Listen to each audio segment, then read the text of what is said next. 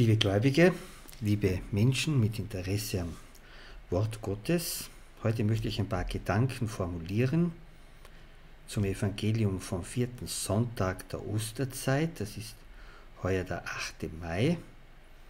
Da stellt sich Jesus sozusagen selbst vor als der gute Hirte, der seine Schafe kennt, die Schafe hören auf ihn und sie folgen ihm.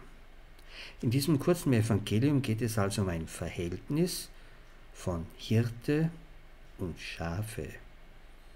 Es geht darum, dass Schafe den Hirten kennen, kennenlernen, dass sie auf ihn hören und dann, dass sie ihm folgen.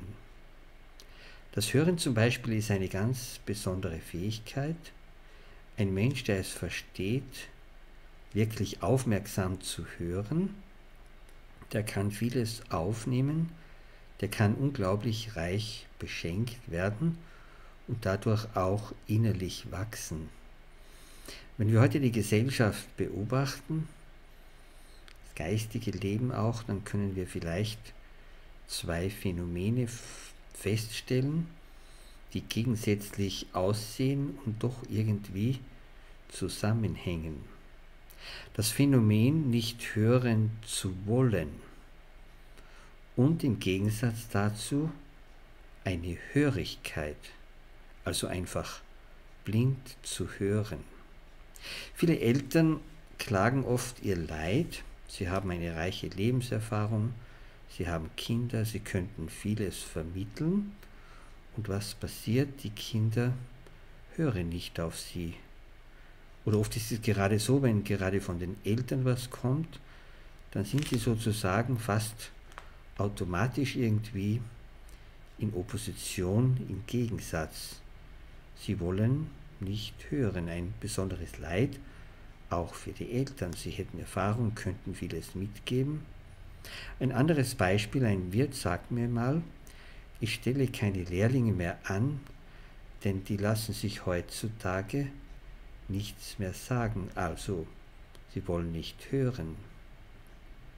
Oder jemand erzählt von einer Entscheidung und sagt dann sehr nachdenklich, hoffentlich habe ich nicht den schwersten Fehler in meinem Leben gemacht. Es geht darum, jemand trifft eine Entscheidung und hört vielleicht im Innersten der Stimme des Gewissens und sagt, die ihm sagt, das sollst du nicht tun und dann hört er eben auf andere oder er folgt einem Druck oder dem Mainstream und so weiter und später merkt er dann, ich hätte hören sollen auf die innere Stimme. Oder ein Beispiel, das mir als Pfarrer oft begegnet. Ich bin manchmal oft sehr traurig, weil ich mir denke, man könnte noch viel mehr Gutes tun als geweihter Priester, wenn Menschen wirklich hören wollten. Oft hat man den Eindruck, es gibt eine Art Argwohn, gerade wenn von der Kirche oder vom Pfarrer was kommt, dann muss man fast automatisch irgendwie misstrauisch sein. Ich denke zum Beispiel an die unglaubliche Vollmacht, Sünden zu vergeben. Was könnte da viel Gutes geschehen, wenn Menschen kommen und gratis sozusagen dieses Geschenk empfangen? Oder ich denke an die Krankensalbung, da habe ich oft die großartigsten Dinge erlebt, wirkliche Wirkungen auch körperlich. Und die meisten Katholiken vermuten nicht einmal, dass die Krankensalbung was helfen könnte und laufen zu vielen anderen Stellen hin, wo sie für viel Geld fragliche Dinge sozusagen in Kauf nehmen. Nicht hören wollen steht scheinbar im Gegensatz zur Hörigkeit, die heute auch da ist, dass Menschen einfach blind tun, was ihnen gesagt wird, alles glauben, was in der Zeitung steht, wie ein Dogma. Und das ist interessant und das hängt vielleicht zusammen mit dem Nicht-Hören wollen, in der Weise, dass man vielleicht sagen kann, wer nicht glaubt, der glaubt alles. Wer nicht dem guten Hirten vertraut, der wird sozusagen anderen vertrauen, aber dann in einer blinden Weise. Denn der gute Hirt ist ja die Liebe selbst und die Liebe ist innerlich klar und wer liebt, der glaubt nicht mehr blind. Die Frage ist deswegen, auf wen hören wir und wie höre ich? Und deswegen auch die Frage, kenne ich den, auf den ich höre? Wir müssen auch wissen bei dieser Frage, wenn es um den guten Hirten geht, dass es auch andere Möglichkeiten gibt. Es gibt Mietlinge, davon spricht Jesus in Evangelien, der bezahlte Knecht, dem nichts an den Schafen liegt, der flieht, wenn der Wolf kommt. Und es gibt Wölfe. Der Apostel Paulus sagte mal bei seinem Abschied in Milet, der Apostelgeschichte ist das aufgezeichnet, wenn ich weg bin, nach mir werden reißende Wölfe kommen, in die Herde eindringen und die Schafe nicht schonen. Diese Wirklichkeit muss uns auch bewusst sein, gerade im Geistigen.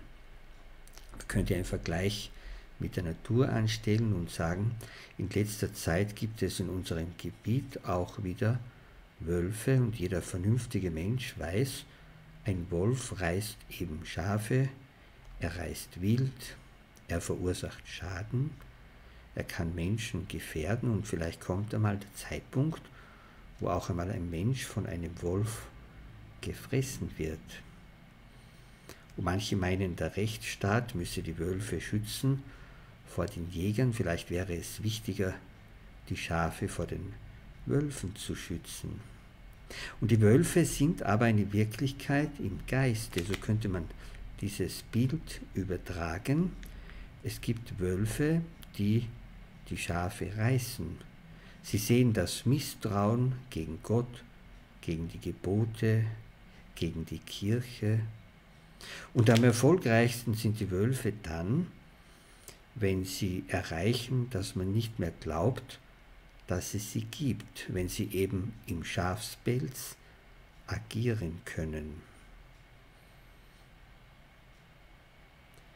Für uns geht es darum, eben, dass wir den guten Hirten erkennen. Der gute Hirt ist der, der uns unglaublich reich beschenkt im Evangelium vom vierten Sonntag der Osterzeit sagt Jesus, was der gute Hirt schenkt, er gibt ewiges Leben. Das ist eine Gabe, die niemand sonst geben kann. Und dann gibt er den Schafen sozusagen die wirkliche Sicherheit. Er sagt, niemand kann sie meiner Hand entreißen. Und diese Sicherheit im Glauben kann bewirken, dass der Mensch insgesamt von vielen, vielen Ängsten befreit wird oder dass Ängste gemildert werden oder dass der Mensch eben fähig ist, trotz Angst eben standzuhalten, weil er im Übernatürlichen eine große, unglaubliche Sicherheit hat und sich geborgen weiß in den Händen des guten Hirten. Und es ist wichtig, dass wir den Hirten erkennen, denn wenn wir jemanden nicht erkennen, dann fällt uns auch das Hören nicht so leicht oder es gelingt einfach nicht so. Und wenn wir dann wirklich hören, dann bekommen wir die Kraft, dem Hirten zu folgen.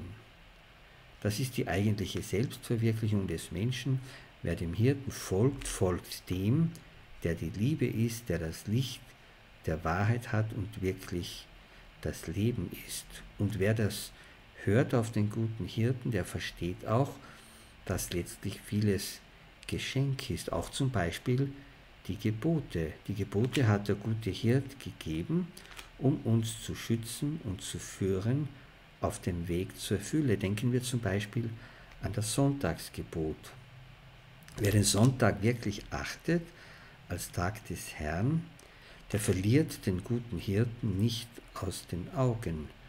Wenn der Mensch immer im Alltag ist, dann gerät er hinein in den Reißwolf. Hier haben wir wieder das Wirken des Wolfes, der Reißwolf, der den Menschen vereinnahmt, der den Menschen bindet an irdischen Dinge, der den Menschen festhält und ihn sozusagen einfach von der übernatürlichen Ebene herunterzieht oder eben nicht aufsteigen lässt. Deswegen ist der Sonntag zum Beispiel ein wirkliches Geschenk, den guten Hirten zu erkennen, an diesem Tag besonders ihn zu hören und durch die Heilighaltung dieses Tages einfach Kraft zu schöpfen, im Alltag dem guten Hirten folgen zu können.